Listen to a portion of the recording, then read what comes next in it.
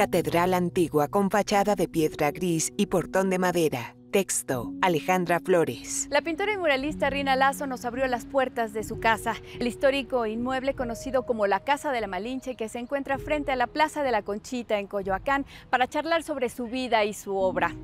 Construida en el siglo XVI, la Casa Colorada fue residencia de Hernán Cortés y su esposa mexicana. Pasó a manos de José Vasconcelos para finalmente ser adquirida por los artistas Arturo García Bustos y Rina Lazo.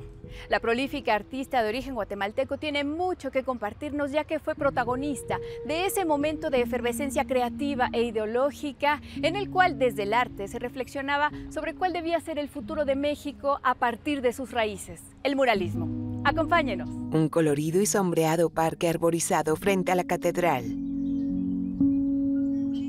Una casa esquinera de paredes rojizas y ventanales rectangulares con rejas que sirven como balcones pequeños.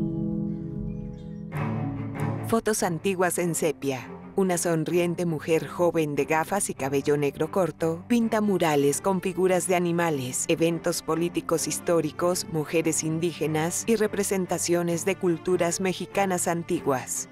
Título Rina Lazo, El muralismo, un arte vivo.